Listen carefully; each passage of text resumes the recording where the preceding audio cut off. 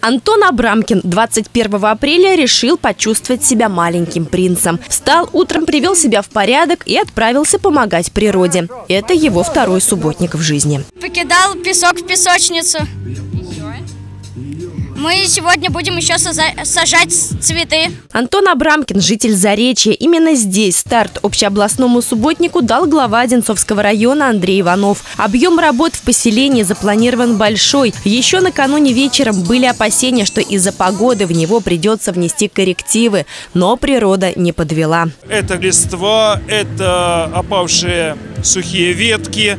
И плюсом ко всему мы обновляем традиционно наши детские площадки.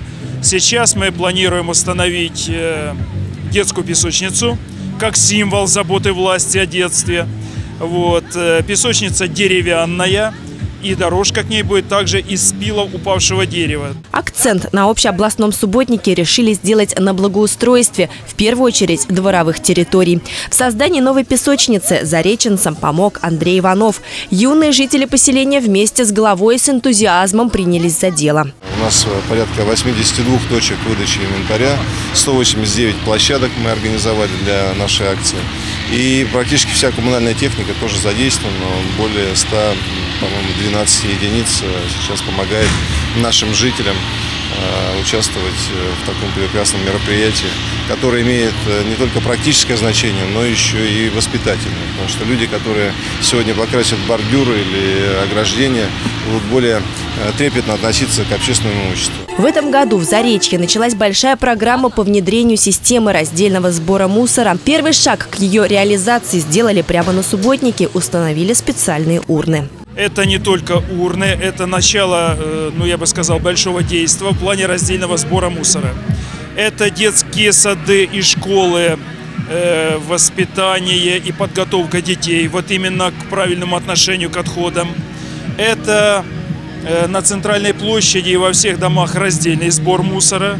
Это раздельный вывоз мусора. Лариса Лазутина тоже не смогла усидеть дома в субботний день. Почетная жительница Одинцова не пропустила еще ни одной экологической акции по уборке. А Ольга Лимарова, начальник управления по делам несовершеннолетних и защите их прав, шутит.